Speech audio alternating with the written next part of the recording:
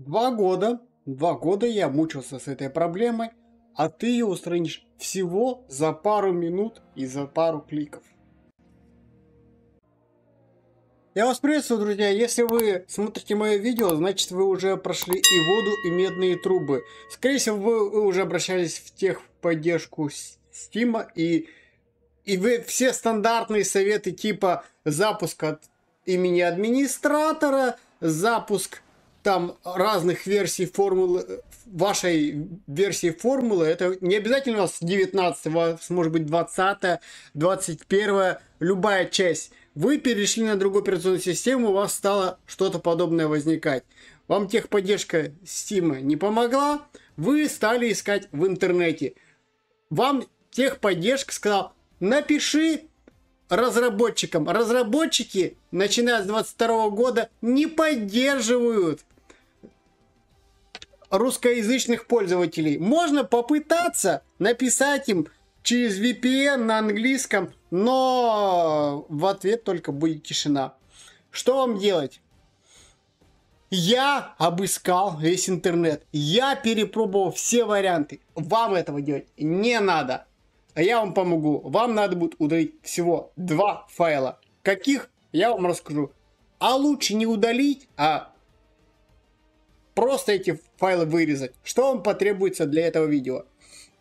Выберите то место, куда вы эти файлы спрячете на всякий случай, если что-то вдруг пойдет не так.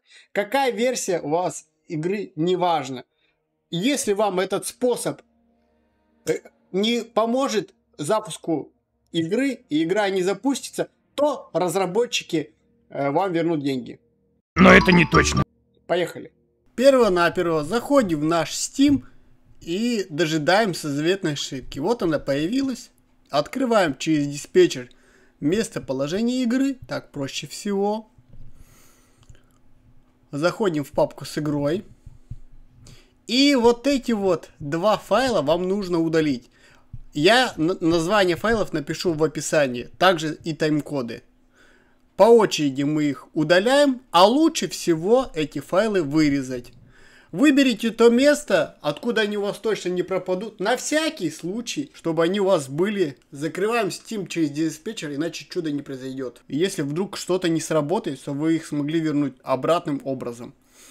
Прописываем название файла, вот первый файл. Просто их можем вырезать или скопировать, как вам удобно. Лучше вырезать и их, собственно, вставить в нужное вам место, в любую папку, где они будут храниться э, на всякий случай. Проверяем, чтобы файл не остался, да. Выполняем такую проверочку. Вот, видите, ошибка, файла нет. То же самое делаем со вторым файлом, который будет в описании. Копируем название из описаний. Если переживаете, можете лучше подписаться или добавить видеоролик к себе в плейлист.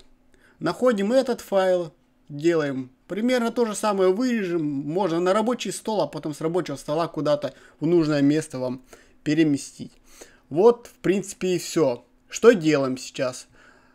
Сейчас мы зашли в Steam, пробуем запустить игру. Видите, игра запустилась. Я поздравляю, у меня на это ушло два года. Я думаю, у вас уйдет гораздо меньше времени. Игра работает. Э, и первый запуск игры может быть продолжительным и с какими-то низкими настройками.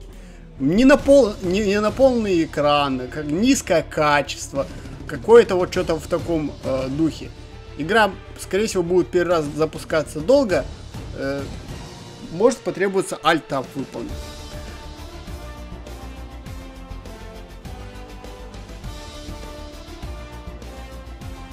Что сейчас сделаем? Сейчас вот эти файлы просто берем и куда-нибудь копируем к себе. В какую-нибудь папку на диск D, к примеру, да? Берем, копируем и наслаждаемся великолепной игрой.